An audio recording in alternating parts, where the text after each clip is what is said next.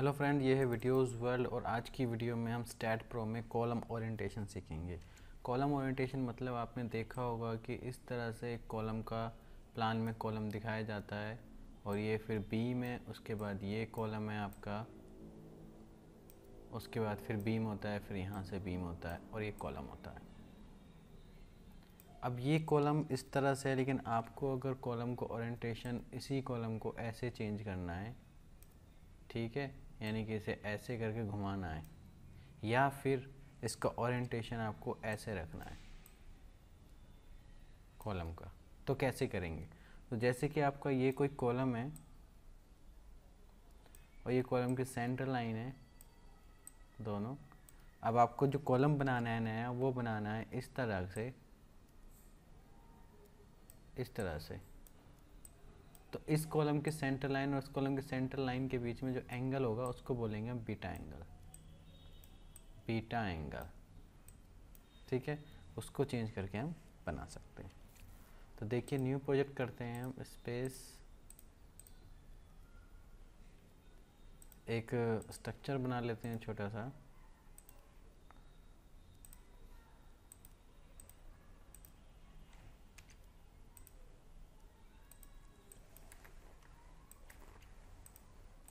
ये रहा ठीक है अब कॉलम की प्रॉपर्टी डिफाइन करते हैं।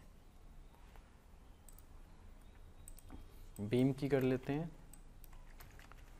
ऐड और कॉलम की कर लेते हैं। डेप्थ आपका 900 रखते हैं और ये 300 थोड़ा फ़र्क रखते हैं जिसे हमें सेलेक्ट करेंगे बीम पहले टू वाई और ये बीम के कॉलम के प्रॉपर्टी दे देंगे और बीम के लिए एक्स और जेड पहले टू एक्स बीम पहले टू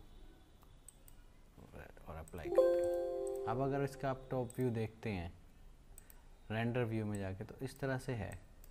यहाँ देखेंगे आप कॉलम का जो ओरिएंटेशन है वो इस तरीके से सॉरी कॉलम का जो ओरिएंटेशन है वो इस तरीके से है।